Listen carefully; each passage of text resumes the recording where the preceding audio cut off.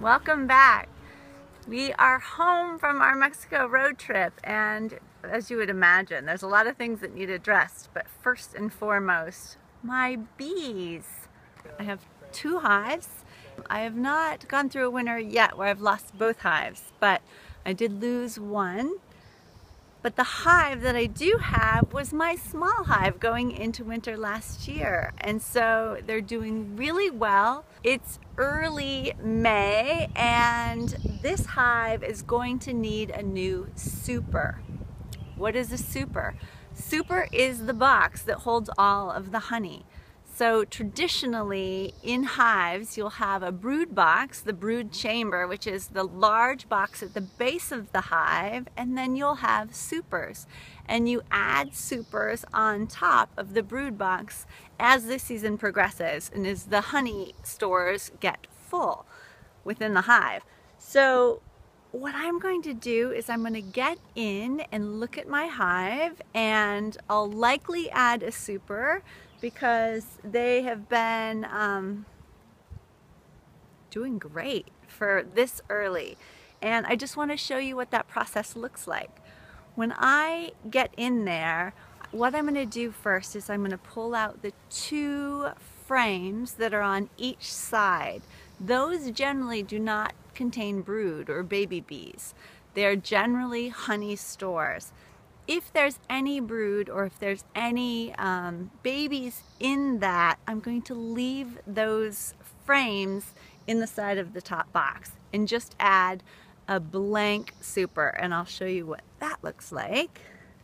If the side frames don't have brood and they're just all honey, I will take those side frames and I will do what's called checkerboarding in the new super. I will put an empty frame, a honey frame, an empty frame, and a honey frame. This is when I take an empty frame and replace a honey frame.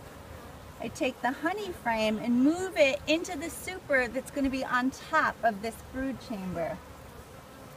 Now, if this exterior frame is also broodless and just full of honey, I'll do the same thing with this frame.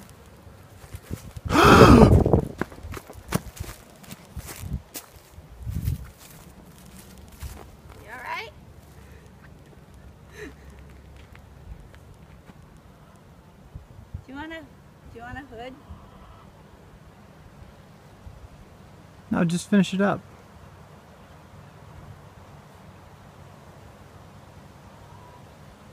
So there's no brood in this one. So I'm going to do the same thing and just move this one up. And what that does is it kind of establishes the order that the bees need to build within.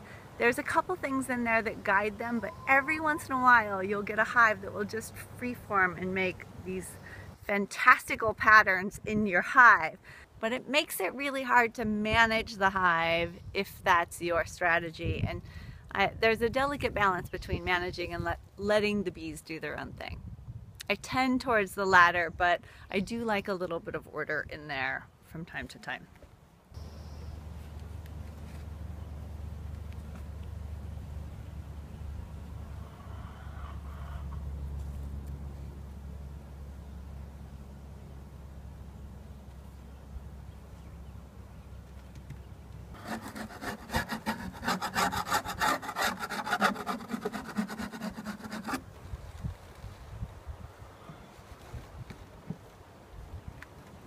So that was it. It's really simple. That took maybe not even 10 minutes. Crack the hive, check the outside frames, re-establish those outside frames into the new super, spacing every other frame. And now they've got tons of room for their spring nectar flow. So they can go out, get as much nectar, as much pollen, as much honey is they can produce and they've got space to grow. So that's the point, that's the whole object for supering.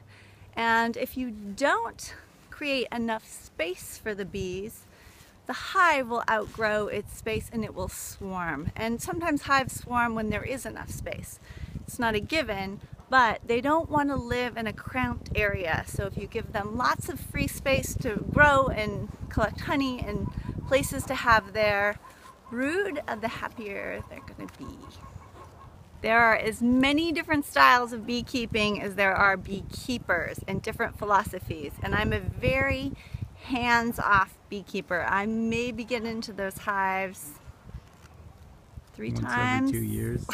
three times, four, four times a season at the most. What I don't like about going in the hive is it's very, very invasive. This is a traditional classic hive setup and I got them as a first time beekeeper and I have them so I use them. They're not the style of hive that I would recommend just because when you go in you're basically ripping the roof off the bee's house and rooting around in their home and I just I find that to be uncomfortable. It aggravates the bees and I just don't think it's necessary.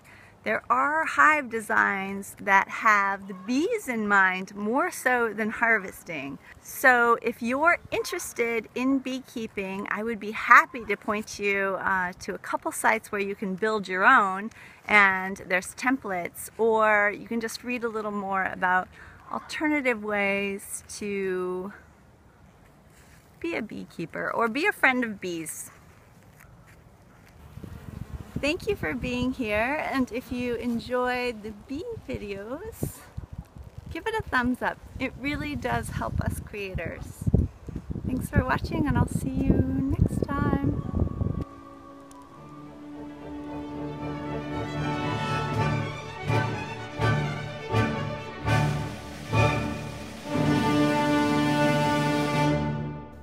So how'd the harvest go?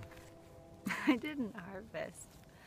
I'm making way for potential harvest or just storage for the bees. But I got stung in the head. Wait, here's some more. How to get through your bee hat? I had my hat off. Kind of, kind of got them riled up. But it happens. Mm-hmm. That's what happens. You alright now? Yes, but you weren't getting the stinger out fast enough. Mhm.